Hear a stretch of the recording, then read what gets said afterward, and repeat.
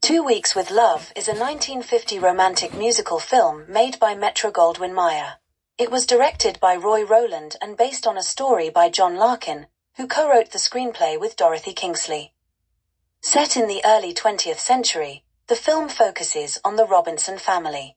Patty, Jane Powell, and Melba, Debbie Reynolds, the daughters, are both accomplished in the performing arts, while the Robinson boys love fireworks and mischief.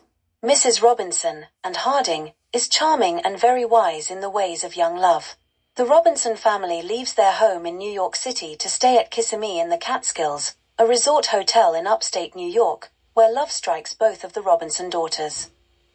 The Robinson family is at the Stanley House Hotel, located in Kissimmee in the Catskills, a resort town, for their annual two-week vacation.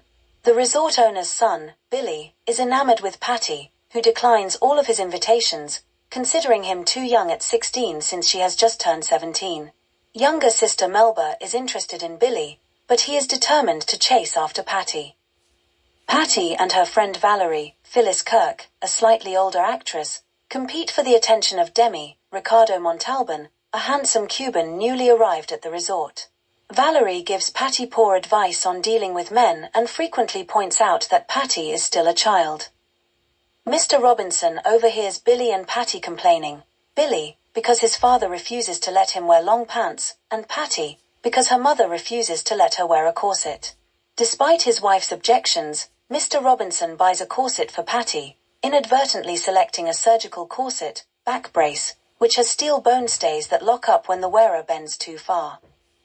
At the variety show, Valerie convinces the resort owner to cut Patty from the show, but when Valerie cannot find her dancing shoes, she refuses to perform, and Patty takes her place in a dance with Demi.